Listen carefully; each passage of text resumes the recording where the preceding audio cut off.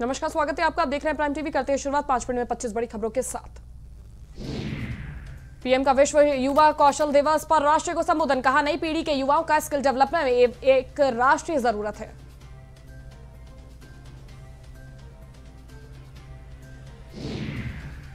केरल में पाँच और लोगों में पाया गया जीका वायरस। राज्य में अब तक आए कुल 28 मामले।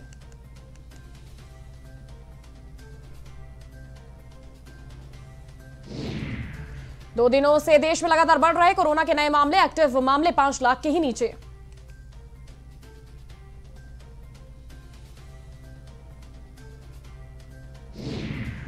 सक्रिय है मानसून। कई इलाकों में अलर्ट जारी, देश के उत्तर व उत्तर पश्चिम इलाके होंगे बारिश से सराबोर।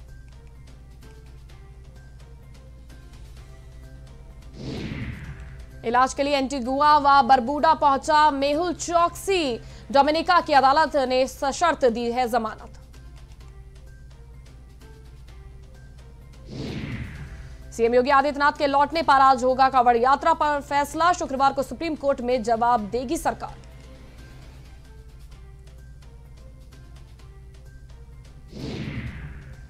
नरेंद्र मोदी के आगमन से पहले रेलवे ने दी काशी को सौगात। मंडुआ, डीही स्टेशन का नाम अब बनारस।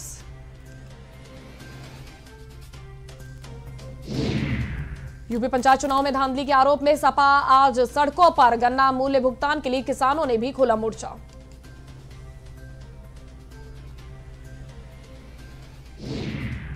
औरैया में संजय सिंह ने सरकार पर साधा निशाना, आपने की यूपी जोड़ो अभियान की शुरुआत।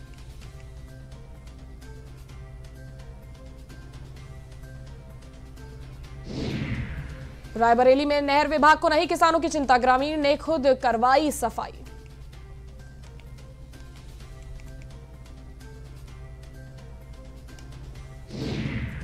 पाक सीमा चौकी पर तालिबान का कस्बा कब्जा। पाकिस्तान की सड़कों पर तालिबान की जीत का जश्न। कवेटा में सीएम दफ्तर पर निकला तालिबानी जुलूस। पाकिस्तान में नौ चीनी इंजीनियरों की मौत से भड़का चीन, कहा एक्शन ले इमरान खान।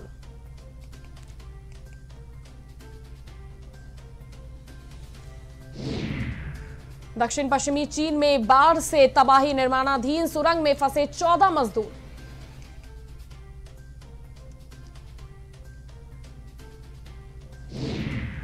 चीनी वैक्सीन सिनोवैक का पहला डोज लेने वालों को दूसरा डोज एस्ट्राजेनेका का लगेगा। तीन से चार हफ़्ते का रखा जाएगा गैप।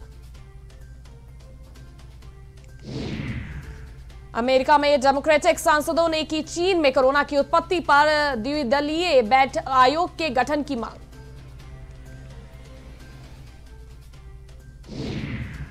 टोक्यो ओलंपिक के लिए भारत का ऑफिशियल सॉन्ग हुआ रिलीज़। ग्रैमी अवार्ड विजेता संगीतकार ए आर रहमान ने कंपोज किया है ये गाना।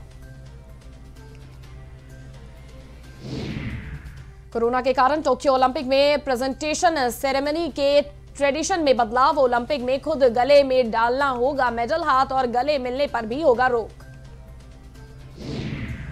सीएम योगी ने टोक्यो ओलंपिक में भाग लेने वाले यूपी के खिलाड़ियों से बातचीत कर दी शुभकामनाएँ, कहा लखनऊ और बनारस में बनाएँगे दो शूटिंग रेंज।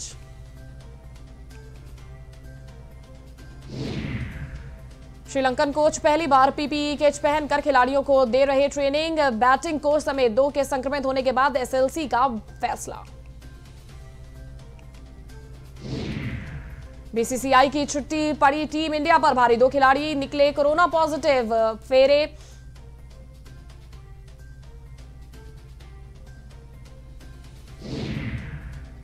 फेरे फ़िल्म का ट्रेलर हुआ रिलीज़। बॉलीवुड अभिनेता विक्रांत मैसी और कृति खरबंदा फ़िल्म में निभाएँगे लीड रोल।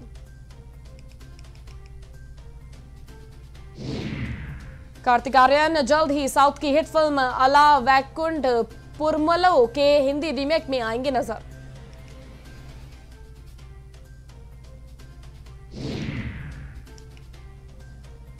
करीना कपूर खान के खिलाफ पुलिस शिकायत, प्रेगनेंसी पर लिखी किताब से धार्मिक भावनाएँ आहत करने का आरोप।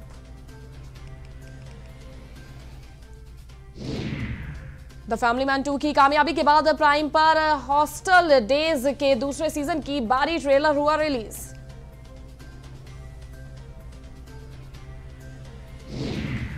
जानवी कपूर अगस्त में शुरू करेंगी मलयालम फ़िल्म हेलेन के हिंदी रीमेक। मिली की शूटिंग फ़िल्म को बोनी कपूर जी स्टूडियो के साथ मिलकर कर रहे हैं प्रोड्यूस पाँच पच्चीस में फ़िलहाल के लिए बस इतना ही। जल्द हाजिर होंगे।